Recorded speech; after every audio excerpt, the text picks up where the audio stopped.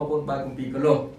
ជំពូក1ខ13ទំព័រ1525ទ្រង់បានប្រោសឲ្យយើងរួចពីអំណាចនៃសេចក្តីងងឹតហើយផ្លាស់យើងមកក្នុងនគររបស់បរិជ្ជវត្រាសួនភ្ងានៃទ្រង់សម្រាប់មនុស្សដែលលឺព្រះបន្ទូលនេះហើយក៏ជាការពិបាកសម្រាប់គំនិតដែលយើងគិតចាប់មិនបាន ពីព្រះបន្ទូលដែលបានបើកសម្ដែងពាក្យមួយដែលថាទ្រង់បានប្រោះឲ្យយើងរួចពីអំណាចនៃសេចក្តីងងឹតមនុស្សអត់បានដឹងថាជីវិតដែលរស់នៅក្នុងโลกសប្តាហ៍នេះយើងរស់នៅក្នុងភាពងងឹតទេយើងគិតថាយើងសប្បាយយើងរីករាយយើងសុខសាន្តយើងមានទ្រព្យសម្បត្តិ ប៉ុន្តែដល់ព្រះបន្ទូលនិយាយថាយើងនៅក្នុងសេចក្តីងងឹតដូច្នេះអំណាចនៅក្នុងសេចក្តីងងឹតដែលយើងជប់នៅក្នុងអំណាចនៃសេចក្តីងងឹតធ្វើឲ្យយើងទាំងអស់គ្នាចាប់មិនបានមិនអាចយល់បានតលតែមានទំនាក់ទំនងជាមួយនឹងតួអង្គព្រះរាជបុត្រានៃព្រះអង្គព្រះយេស៊ូវព្រះបន្ទូលព្រះដំណឹងល្អដែលបងប្អូនឮហើយចាប់អារម្មណ៍ទើបយើងដឹងថាសេចក្តីងងឹតគឺព្រះម្ចាស់និយាយសំដៅទៅលើវិញ្ញាណ ដែលគ្មានទំនាក់ទំនងជាមួយនឹងព្រះវិញ្ញាណដែលនៅក្នុងការគៀបសង្កត់ពីអំណាចអាក្រក់ដែលធ្វើឲ្យជីវិតមនុស្សពឹងអាងលើចំណេះពឹងអាងលើខ្លួនឯងពឹងអាងលើអំណាចមុខមាត់ឬអ្វីផ្សេងដែលខ្លួនគិតថាជាសេចក្តីល្អជាសេចក្តីប្រសើរគ្មានទំនាក់ទំនងជាមួយនឹងព្រះដ៏ពិតអ្វីខ្លួនអាចតាក់ទងមានទំនាក់ទំនងបាន ប៉ុន្តែបដិសេធចំពោះព្រះដ៏ពិតព្រះដ៏ជាតួអង្គពន្លឺជាជាពន្លឺដ៏ពិតសម្រាប់ជីវិតយើងគឺយើងបដិសេធព្រះអង្គតែយើងទៅចូលរួមជាមួយនឹងសេចក្តីងងឹតជាច្រើនដែលមាននៅក្នុងលោកីនេះពីព្រោះអំណាចអាក្រក់តែព្រះបន្ទូលទ្រង់បានបើកសម្ដែងឡើងព្រះអង្គមានបន្ទូលថាវាជាមេនៃសេចក្តីងងឹតហើយវាមានកងពលវាជាច្រើនដែលវានាំសេចក្តីឆោបោកមកលើលោកីនេះ ធ្វើឲ្យលោកីវង្វេងធ្វើឲ្យលោកីគោរពហើយស្ដាប់បង្គាប់វាដូច្នេះហើយបានជាមនុស្សមិនបានស្គាល់ដំណឹងល្អរបស់ព្រះបដិសេធដំណឹងល្អរបស់ព្រះគឺរស់នៅក្នុងអំណាចនៃសេចក្តីងងឹតចឹងហើយព្រះបន្ទូលនេះបានបានសម្ដែងបានបញ្យល់ឲ្យយើងដឹងថាទ្រង់បានប្រោះឲ្យយើងរួចពីអំណាចនៃសេចក្តីងងឹតចាប់អត់បានរងយល់មិនបានតើបើម្ចាស់ប្រោះដូចម្ដេចឲ្យមនុស្សបានរួចពីអំណាចនៃសេចក្តីងងឹតនេះ ទល់តែអ្នកណាដែលលឺដំណឹងល្អនៃព្រះបានផ្លាស់ប្រែចិត្តទទួលព្រះម្ចាស់ជាព្រះអង្គសង្គ្រោះទើបដឹងថាសេចក្តីងងឹតនេះបានគ្របដណ្ដប់លើវិញ្ញាណឲ្យប្រឆាំងជាមួយនឹងព្រះឲ្យតវ៉ាជាមួយនឹងព្រះបន្ទូលព្រះឲ្យមានការមិនពេញចិត្តចំពោះអ្វីដែលព្រះបន្ទូលទ្រង់បានបើកសម្ដែងឡើង ធ្វើឲ្យមានការខកចិត្តនៅពេលណាដែលឮព្រះបន្ទូលព្រះបានបំភ្លឺឲ្យវិញ្ញាណនេះបានភ្ញាក់ឡើងគឺអត់ពេញចិត្តឡើយគឺយើងប្រឆាំងជានិច្ចចឹងហើយបានសេចក្តីថា នៅក្នុងព្រះបន្ទូលដែលបានបើកសម្ដែងនៅថ្ងៃនេះគឺព្រះម្ចាស់តម្រូវឲ្យយើងទាំងអស់គ្នាស្គាល់ពីសេចក្តីអាកំបាំងនៃជីវិតអាចស្គាល់ការនេះបានទាល់តែយើងជួបនៅពន្លឺដ៏ពិត នោះមនុស្សនឹងមានការចាប់អារម្មណ៍គិតពីជីវិតនេះជាសំខាន់លើសអ្វីទាំងអស់ដែលយើងបានមើលឃើញនឹងភ្នែកនៅលើលោកសប្តាហ៍នេះដូច្នេះនៅក្នុងព្រះគឺជាពន្លឺជាអំណាចហើយជាសេចក្តីអស្ចារ្យសម្រាប់ជីវិតមនុស្សលោករស់នៅក្រោមអំណាចនៃសេចក្តីងងឹតតែមេនៃសេចក្តីងងឹតនេះ បានបបបញ្ឆោតមិនឲ្យមនុស្សបានយល់ពីភាពងងឹតនេះឡើយពេលនេះបងប្អូនបើយើងអត់មានដំណឹងល្អព្រះបើយើងមិនបានជឿដល់អង្គព្រះយេស៊ូវយើងអត់ដឹងថាជីវិតយើងនៅក្នុងសេចក្តីងឹតទេយើងគិតថាយើងល្អយើងប្រសើរពីព្រោះយើងរស់នៅក្នុងលោកីនេះយើងមានមុខមានមាត់យើងមានរបស់របរប្រើប្រាស់មានទ្រព្យសម្បត្តិយើងសប្បាយយើងហឺហាអត់ដឹងថានៅក្នុងងឹតឡើយតើតែយើងមានព្រះបន្ទូលព្រះ ទើបនឹងថាអូជីវិតខ្ញុំបើមិនបានស្គាល់ព្រះអង្គគឺនៅក្នុងងឹតបងប្អូនអាចយល់បងប្អូនអាចចាប់បានហើយមេងងឹតនេះក៏បង្វែរសេចក្តីពិតមិនអោយមនុស្សបានស្គាល់បានយល់ដល់ពន្លឺដ៏ពិតប្រកបនោះឡើយគឺបើអ្នកណាចង់ទទួលដំណឹងល្អនៃព្រះគឺវាមកបង្វែរយើងចេញគឺវាមកអូសទាញមកបកបញ្ឆោតមិនអោយយើងទទួល ព្រះដ៏ពិតឡើយតែបើមានអ្នកណាមកប្រាប់ឲ្យយើងទៅជឿឬអ្វីផ្សេងទៀតគឺវាអត់រំខានយើងទេទៅជឿចុះពីព្រោះទាំងអស់នោះនៅក្នុងសេចក្តីងងឹតដដែលនៅក្នុងការគ្រប់គ្រងរបស់ព្រះវាដូច្នេះសេចក្តីងងឹតមិនអាចគ្រប់គ្រងលើព្រះបានបានជាវាតវ៉ាប្រឆាំងជាមួយនឹងអ្នកណាដែលមករកសេចក្តីពិតសម្រាប់ជីវិតដូច្នេះអរគុណព្រះណា ដែលយើងបានឮដំណឹងល្អព្រះហើយព្រះម្ចាស់បានការពារបានដាក់អំណាចព្រះអង្គជួយឲ្យយើងបានទទួលព្រះអង្គម្ចាស់ជាព្រះអង្គសង្គ្រោះយើងបែរមកនៅក្នុងពន្លឺចឹងហើយបានជីវិតដែលជឿព្រះគឺតតាំងមិនបាននៅស្ងៀមទេគឺយើងតតាំងរាល់ថ្ងៃជាមួយនឹងមេនៃសេចក្តីងងឹតនេះដូច្នេះមេនៃសេចក្តីងងឹតនេះគឺមានចលនាមានមធ្យោបាយគ្រប់យ៉ាងដើម្បីទាញយើង ចេញពីសេចក្តីជំនឿគ្រប់គ្រាបើយើងធ្វើប្រហែលវានឹងទាញយើងចេញវានឹងលបួងវានឹងអូសទាញជីវិតអ្នកដែលជឿព្រះឲ្យដាច់ពីពន្លឺដ៏ពិតវិញពេលនោះហើយដែលយើងបែរក្រោយយើងកាន់តែងងឹតថែមទៀតយើងកាន់តែប្រឆាំងជាមួយនឹងពន្លឺដ៏ពិតរបស់ផងព្រះម្ចាស់នៅពេលណាដែលយើងលឺដំណឹងល្អនៃព្រះពីកូនព្រះម្ចាស់ដែលបានផ្សាយគឺគេបាននិយាយថាគេដឹងហើយ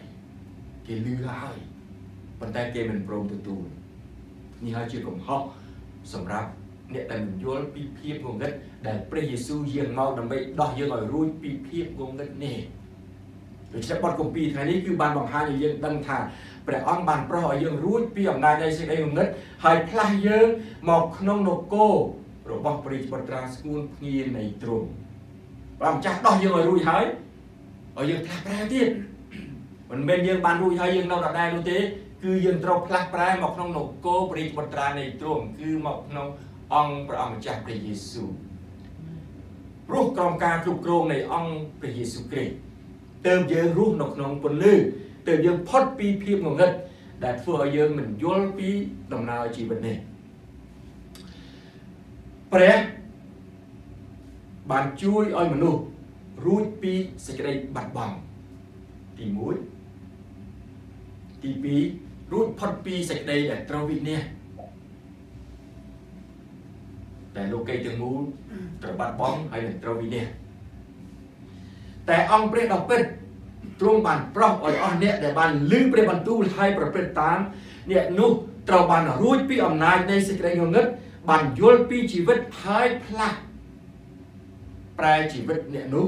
ឲ្យមកក្នុងនគរនៃព្រះពុត្រាព្រះអង្គ គឺនៅក្នុងអង្គព្រះយេស៊ូវវិញដូច្នេះមនុស្សត្រូវតែតតាំងជាមួយនឹងអំណាចនៃសេចក្តីងងឹតនេះមនុស្សមិនអាចសម្របសម្រួលជាមួយនឹងមេនៃសេចក្តីងងឹតនេះបានឡើយចឹងហើយអ្នកដែលជឿព្រះគឺយើងតតាំងរាល់ថ្ងៃជាមួយនឹងសេចក្តីងងឹតត្បិតនៅក្នុងគម្ពីរអេពីសូចំពោះ6ខ12បាននិយាយថាត្បិតយើងរាល់គ្នាមិនមែនតយុទ្ធនឹងសាច់ឈាមទេ គឺនឹងពួកគ្រប់គ្រងពួកមានអំណាច និងពួកម្ចាស់នៃសេចក្តីងងឹតនៅលោកីនេះវិញហើយទោះនឹងអំណាចអាក្រក់ខាងវិញ្ញាណនៅឋានដ៏ខ្ពស់ដែរនេះហើយជីវិតអ្នកដែលជឿព្រះបើជីវិតអ្នកដែលជឿព្រះគ្មានលក្ខណៈនេះទេ គឺសេចក្តីជំនឿនឹងថយក្រោយឬក៏នៅដដែលឬក៏សេចក្តីជំនឿនោះមិនបានរឹងមាំឡើយដូច្នេះសេចក្តីតតាំង ដែលគម្ពីរអេពីសូតនេះបានឲ្យយើងដឹងជាមុនគឺដើម្បីឲ្យយើងសូមអំណាចប្រជាស្ដាពីព្រះសូមចំណេះពីព្រះអង្គសូមសេចក្តីយល់ដឹងនៅក្នុងព្រះបន្ទូលទើបយើងអាចតតាំងជាមួយនឹងអំណាចគ្រប់គ្រងនៃម្ចាស់សេចក្តីងឹតនៅក្នុងលោកីនេះបានដូច្នេះអំណាចអាក្រក់ខាងវិញ្ញាណនៅឋានដ៏ខ្ពស់ បងប្អូនហើយអំណាចអាក្រក់នេះវាហោះហើរនៅក្នុងលំហអាកាសជាច្រើនដែលមកលពូមកអូសទីងជីវិតអ្នកដែលជឿចំពោះព្រះអង្គម្ចាស់ដូច្នេះបងប្អូនសប្តាហ៍នេះយើងតយុទ្ធជាមួយនឹងពួកមេគ្រប់គ្រងពួកមានអំណាចនិងម្ចាស់នៃសេចក្តីវិតនៅក្នុងលោកេនេះវិញហើយនឹងអំណាចអាក្រក់ខាងវិញ្ញាណ ដូចខ្ញុំបងប្អូនដឹងហើយថាទេវតាមួយភាគ3ដែលសាតាំងវាបានអូសទាញធ្វើឲ្យជីវិតអ្នកដែលគោរពចំពោះវិញ្ញាណអាក្រក់ជាច្រើននៅលើលោកេនេះចុះចូលជាមួយនឹងអំណាចដែលនៅឋានៈពស់នោះដូច្នេះហើយបានជាជីវិតមនុស្សមួយចំនួន មានសេចក្តីកាន់តែងងឹតឡើងទោះបីជាពលឺព្រះ បានទៅដល់ដំណឹងល្អព្រះម្ចាស់ចូលទៅដល់ហើយក៏មិនទទួលដែរពីព្រោះសេចក្តីងងឹតនេះវាកាន់តែខ្លាំងពីព្រោះការគោរពដែលយើងទទួលជឿការដែលយើងថ្វាយបង្គំចំពោះសេចក្តីងងឹតនេះគឺវាគ្របដណ្ដប់មិនឲ្យយល់ស្គាល់នៅពលឺដ៏ពិតមកអំពីព្រះនោះឡើយតែអរគុណដល់ព្រះអង្គព្រះអង្គបានឲ្យយើងស្គាល់មេបាអ្នកដែលជឿនៅក្នុងព្រះបន្ទូលព្រះជឿលើអង្គព្រះយេស៊ូវ គឺបានស្គាល់មេបាបដែលវាបានលពួងមេដាដើមយើងតាំងតែពីដំបូងមក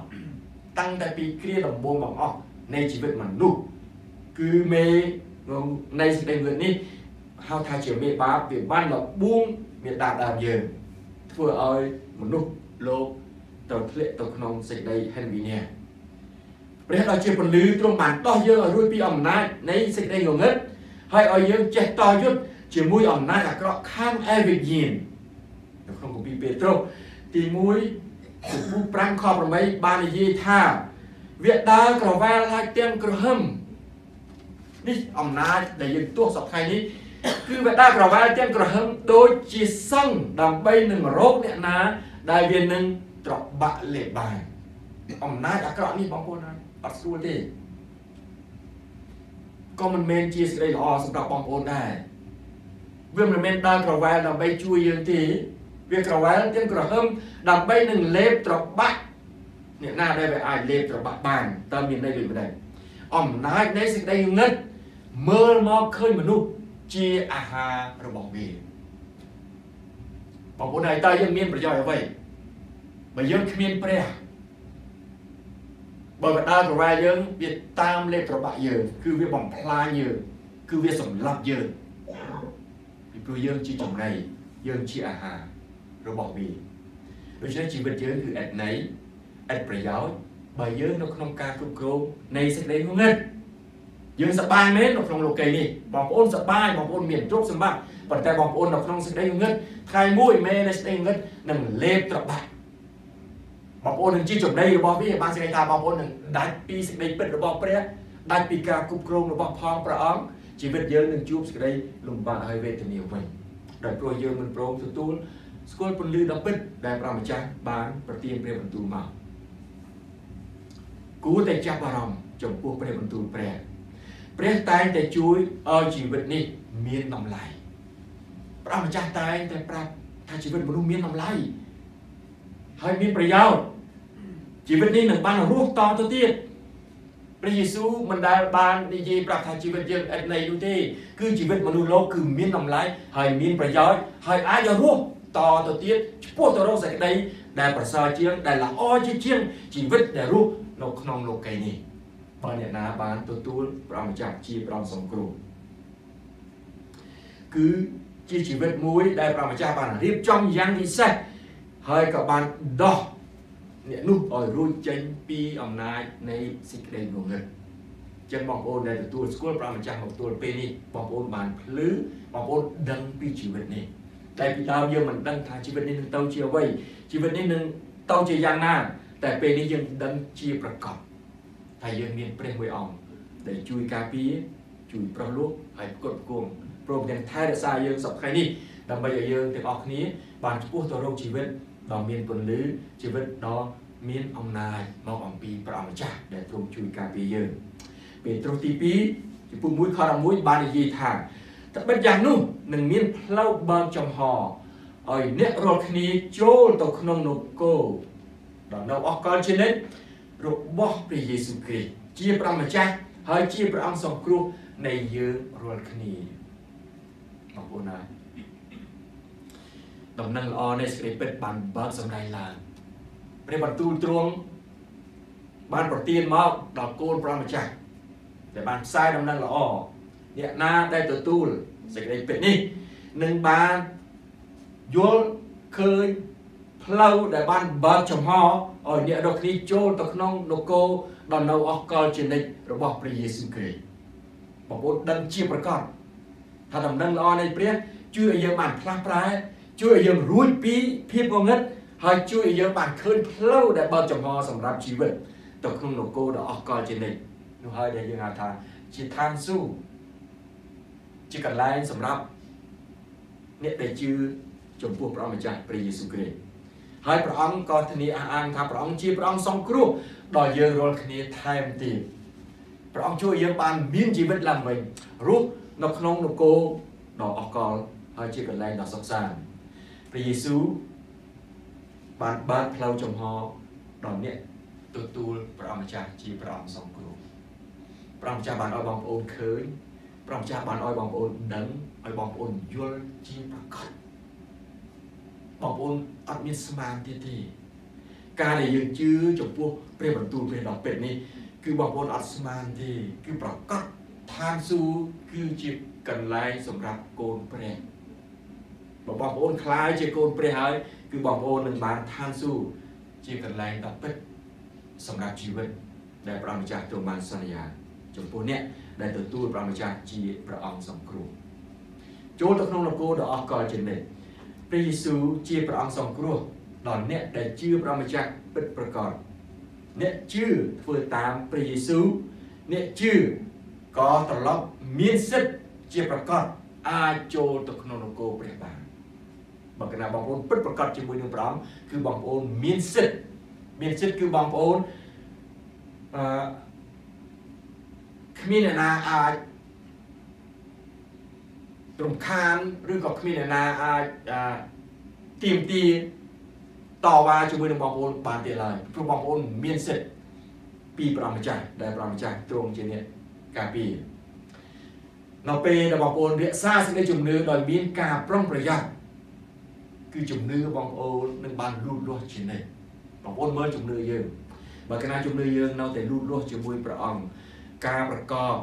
សេចក្តីអធិដ្ឋានការរៀនព្រះបន្ទូលព្រះសេចក្តីស្រឡាញ់សេចក្តីមេត្តាជំនួយដែលបងប្អូនជួយទៅដល់អ្វីផ្សេងទៀតនៅក្នុងកិច្ចការងាររបស់ផងព្រះម្ចាស់ចិត្តតែមានចេញពីជីវិតយើងនោះហើយដែលជាជំនឿយើងកំពុងតែលូតលាស់ជាមួយនឹងព្រះអង្គការស្ដាប់ព្រះបន្ទូលហើយមានចិត្តគោរពនិងធ្វើតាម ថែមទៀតលើកតម្កើងនាមព្រះម្ចាស់គ្រប់គ្រាគឺបងប្អូនមិនដែលបន្ទាបនាមព្រះម្ចាស់ឡើយគឺបងប្អូនតែងតែលើកហើយសរសើរតម្កើងដល់នាមព្រះដូច្នេះនៅថ្ងៃនេះព្រះបន្ទូលដែលបាននិយាយថាព្រះម្ចាស់យាងមកក្នុងលោកនេះដើម្បីដោះយើងទាំងអស់គ្នាបានរួចពីអំណាចនៃសេចក្តីងឹតគឺឲ្យបងប្អូនយល់ពីជីវិតដូច្នេះត្រូវស្រឡាញ់ជីវិតយើងស្រឡាញ់វិញ្ញាណយើងស្រឡាញ់រូបរាងកាយយើង ទុកឲ្យវិញ្ញាណរូបរាងកាយនេះបានបម្រើដល់ព្រះដល់ពិតដើម្បីយើងអាចមានសិទ្ធិវិលចូលទៅក្នុងនគរនៃព្រះរាជបុត្រារបស់ផងព្រះអង្គដែលព្រះបន្ទូលបានបើសម្ដែងថាព្រះម្ចាស់នឹងបំផ្លាស់យើងឲ្យយើងបានចូលទៅក្នុងនគរព្រះរាជបុត្រាឈ្មោះភ្ញីនៃព្រះគឺជានគរនៃព្រះម្ចាស់ព្រះយេស៊ូវជាបល្ល័ង្កដែលព្រះម្ចាស់បានគង់នៅទីនោះបងប្អូនហើយជាសេចក្តីអំណរណាស់ចឹងហើយបានសេចក្តីថាជីវិតដែលមានន័យ គឺសូមឲ្យបងប្អូនរក្សាសេចក្តីជំនឿនេះបើកាលណាបងប្អូនជាប់ជាមួយព្រះម្ចាស់រហូតដល់ពេលយើងចាក់ចេញពីលោកីនេះគឺបងប្អូននឹងបានចូលទៅក្នុងនគរនៃព្រះរាជបត្រាស្ពុនជានៃព្រះសូមព្រះម្ចាស់ប្រទានពរ